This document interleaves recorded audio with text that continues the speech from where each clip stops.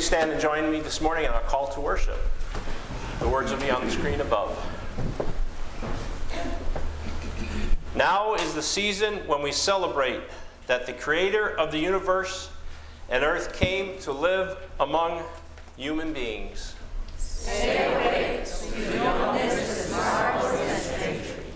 This is the one who comes to dwell in glory in every land. Who comes to those who have been left out with broken hearts and oppression.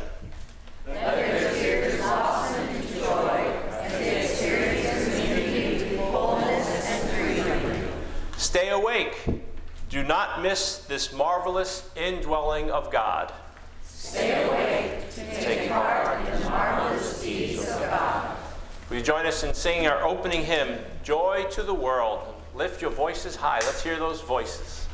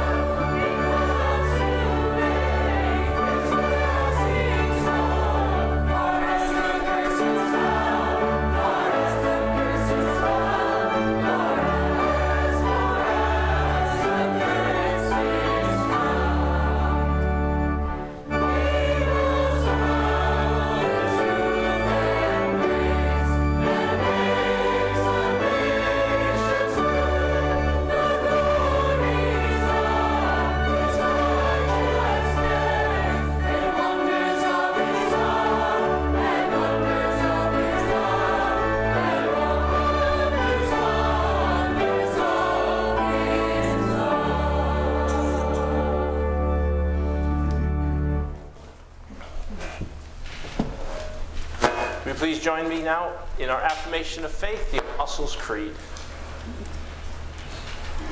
I believe in God, the Father Almighty, maker of heaven and earth, and in Jesus Christ, his only Son, our Lord, who was conceived by the Holy Spirit, born of the Virgin Mary, suffered under Pontius Pilate, was crucified, dead, and buried. The third day he rose from the dead. He ascended into heaven and sitteth at the right hand of God the Father Almighty. From thence he shall come to judge the quick and the dead. I believe in the Holy Spirit, the holy Catholic Church, the communion of saints, the forgiveness of sins, the resurrection of the body, and the life everlasting. Amen.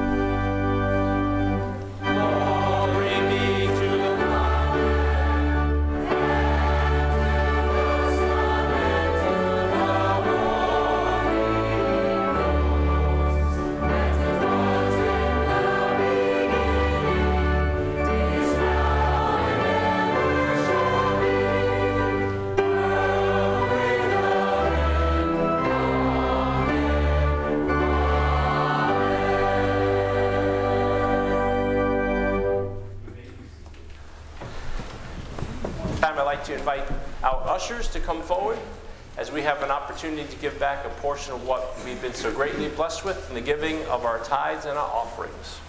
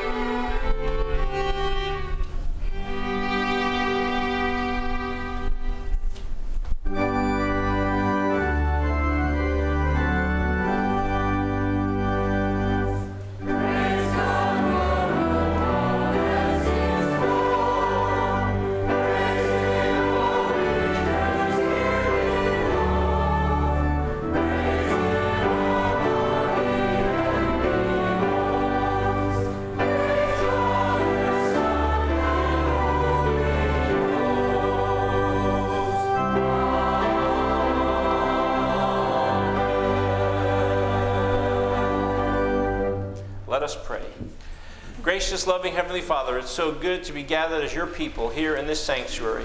Come and fill us with your presence. Pour out your blessings on these gifts and each giver alike and allow them to be multiplied to advance your kingdom. And we pray it all in the name of the Father and the Son and the Holy Spirit and all of God's people said, Amen. Amen. Amen.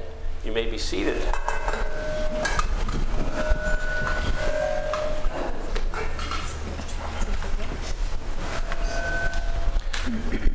As we continue to worship this morning, let's take a few moments right now and still and quiet our hearts and go to our Heavenly Father in prayer. Let us pray.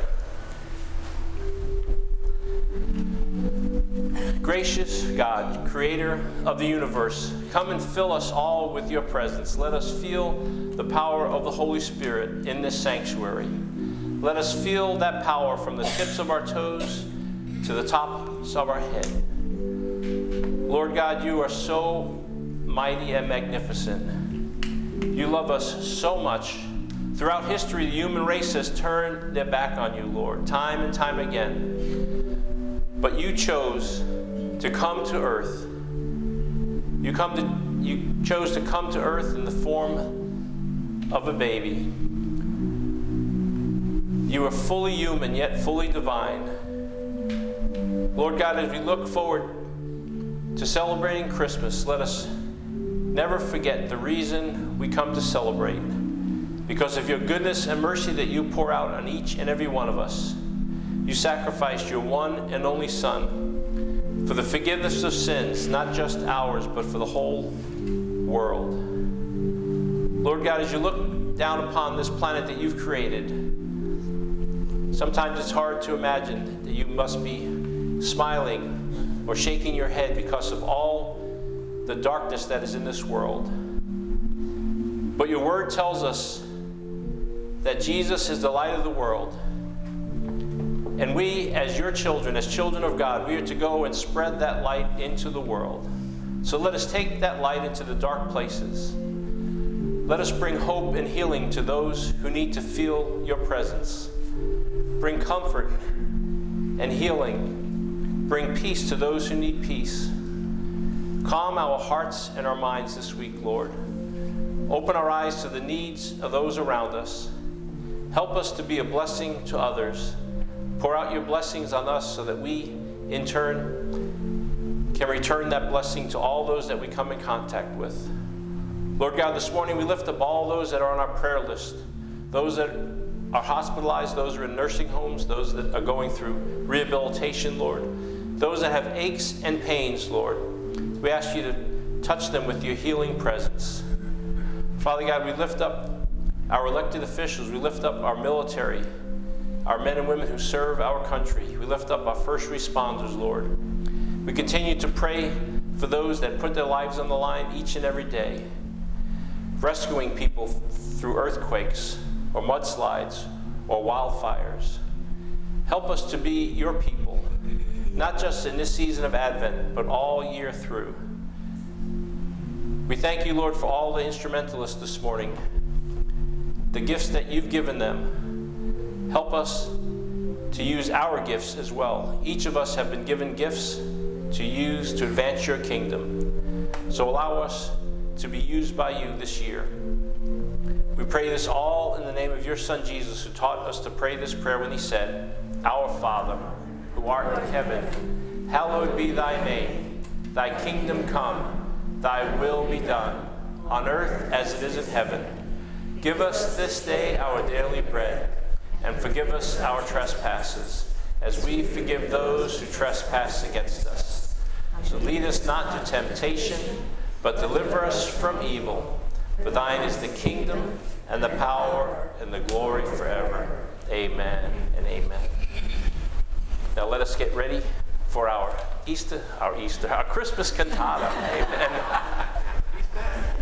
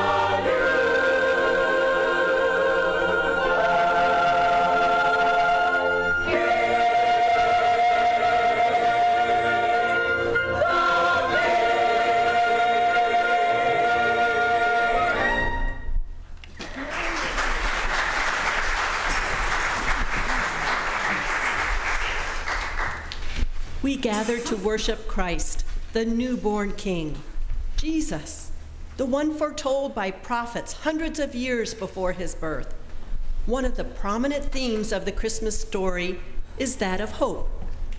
It was this hope that sustained the chosen people of God, the nation of Israel, as they awaited the promised Messiah.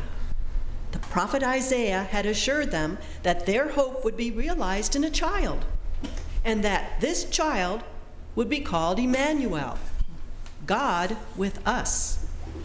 The hope of the ages resided then, as it does today, in the promised Son of God.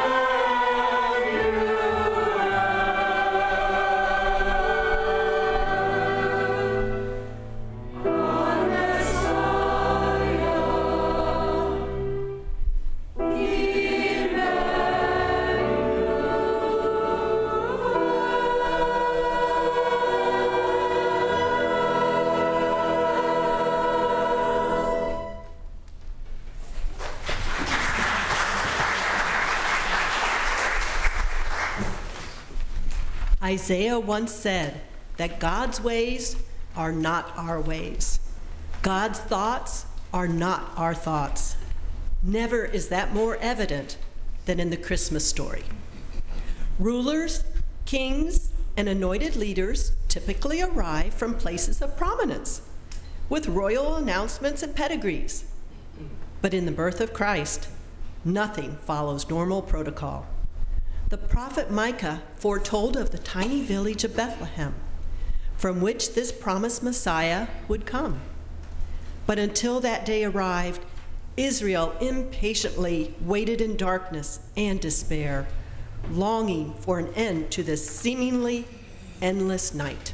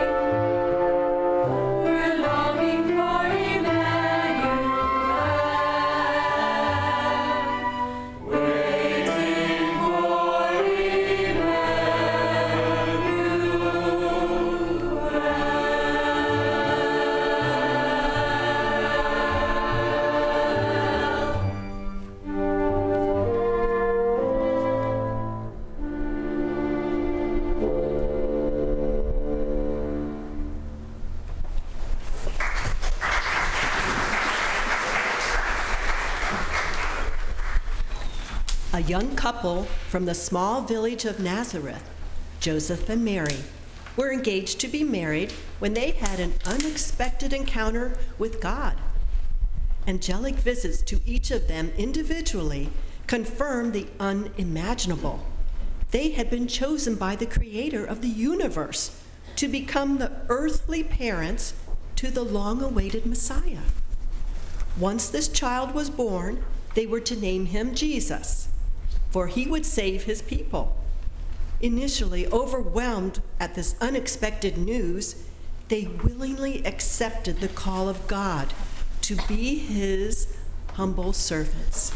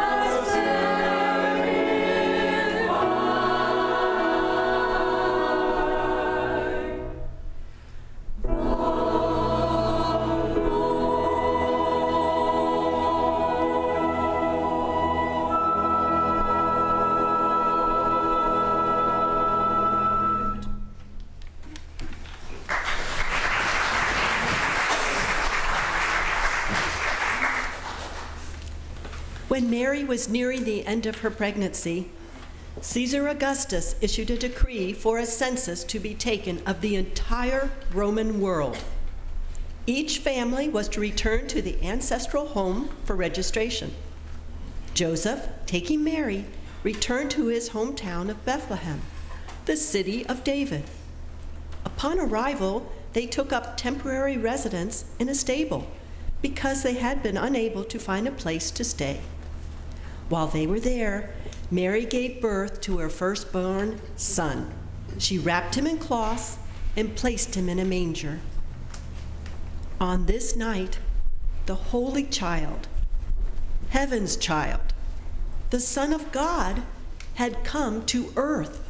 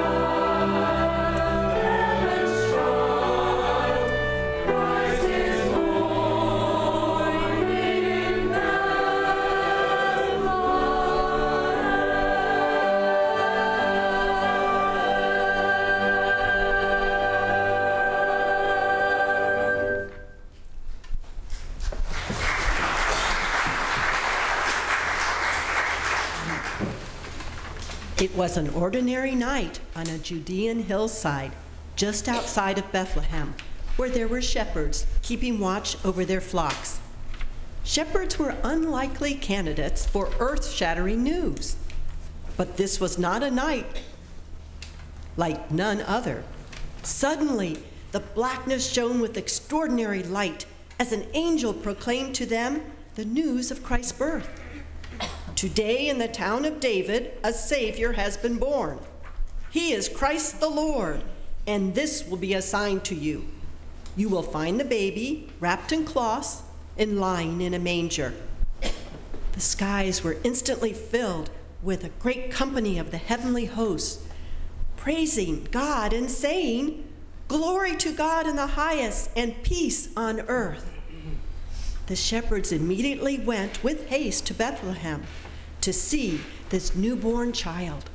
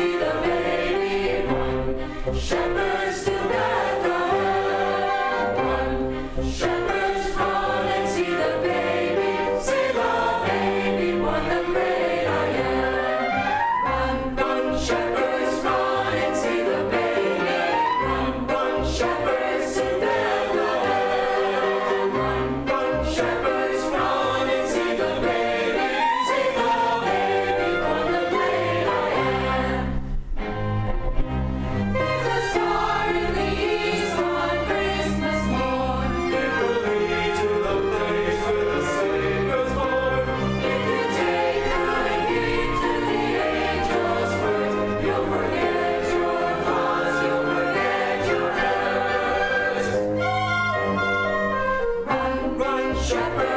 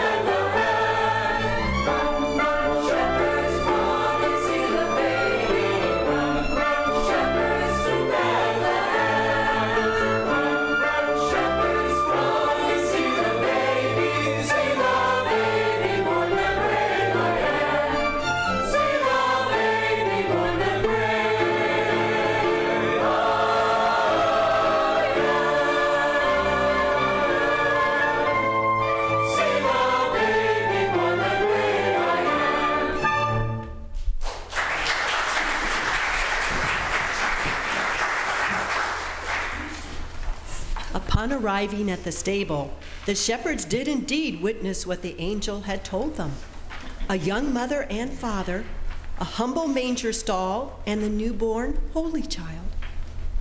All who heard the story of what the shepherds had witnessed were amazed. The young maiden Mary, chosen mother of God, treasured all of this in her heart. As Bethlehem slept, the King of the angels had come into the very world his tiny hands had once helped create. Earthly parents and shepherds could only marvel at the miracle before them.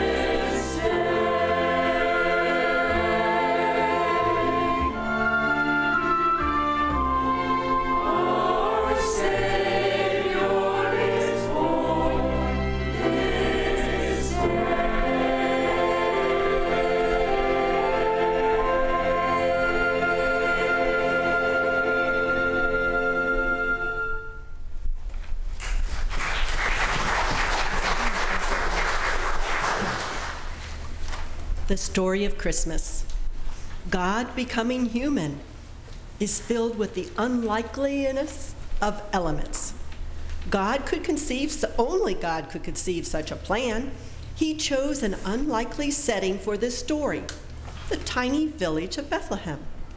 An unlikely couple as supporting characters in this story Joseph and Mary. God chose an unlikely audience through which to broadcast the news of Christ's birth common shepherds. And he chose a newborn infant as the lead character in this life changing story of redemption, love, and grace. Jesus, the Holy Child of Bethlehem. This is the compelling story of Christmas. This is the miraculous story of Bethlehem's child.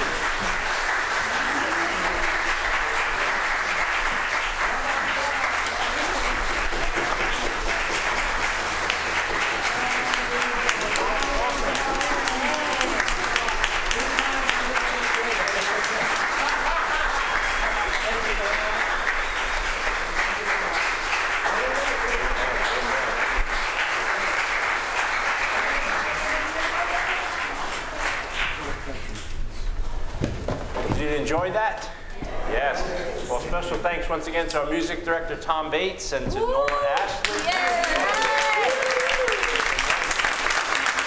Our chamber ensemble, beautiful instrumentalist this morning. Thank you so much. Yes. And last but not least, our chancel choir.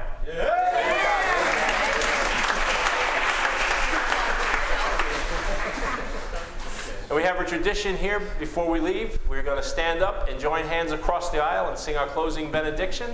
Blessed be the tie that binds